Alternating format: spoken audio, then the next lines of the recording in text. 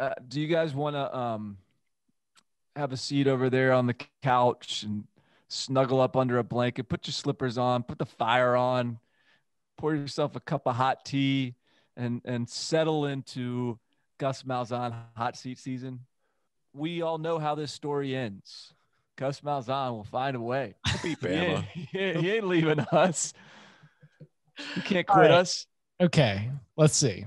What is the game that saved Bama. Gus? Ma- no, I just Yeah. Texas A&M. Texas A&M is way. Listen, if he beats, all right. So they finished the season with Tennessee at home, Bama on the road, and Texas A&M at home. I do not believe, based on what we saw from Alabama today, that Alabama would lose that game. I don't think that this Auburn team. No, no, no, no, no. I How many times can we say that about the years No. Auburn beat Alabama? though? I, I don't think we. s- I don't. I, I. I don't. I can't fathom this Auburn team beating Alabama. And so I think Tennessee and Texas A&M might be the games that look, you know, like it's this, you know, saving your job type moment. You go two and one in that stretch of Tennessee, Alabama, Texas A&M. Vibes are much better and potentially keep your job situation. But like, let's let's look. You know, let's go through the history book of the winds of change with Gus Malzahn on the plains.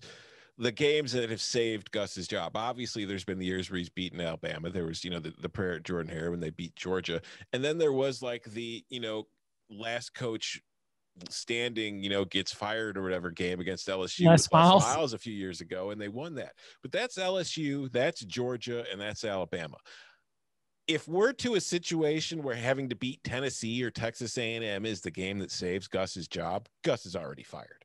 But te- but Texas A&M could be a top 10 team. It's it's like that it's North like that Carolina's a top five team. Who cares? well it's like the Jimbo Fisher signature win against Florida.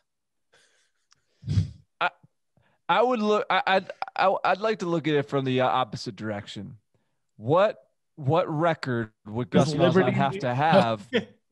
no, no. What What record would Gus Malzahn have to have for you to be confident this would be his that he he would be fired?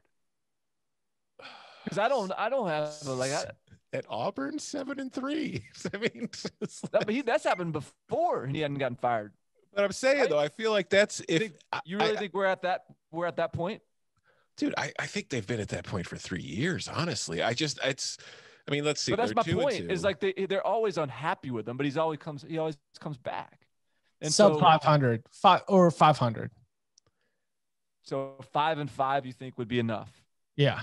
So if Auburn loses next week against Mississippi, and then they get LSU, and then they get Mississippi State before they finish with their three games, the two big job-saving games against Tennessee and A&M with the Iron Bowl mixed in between. both at home and judging by the way things are going alabama might just let full stadiums by that point so hey you know I just I I can't, I can't sit here and say that Tennessee and A&M are job savers. They, I just can't see that being the case. I think I think they'll be I think Auburn will be four and four um minus Tennessee and A&M games. So if they go 0 and 2 those games, I think they could finish 4 and 6. If they go 2 and 0 those games, I think they could finish 6 and 4. That's kind of where I see them.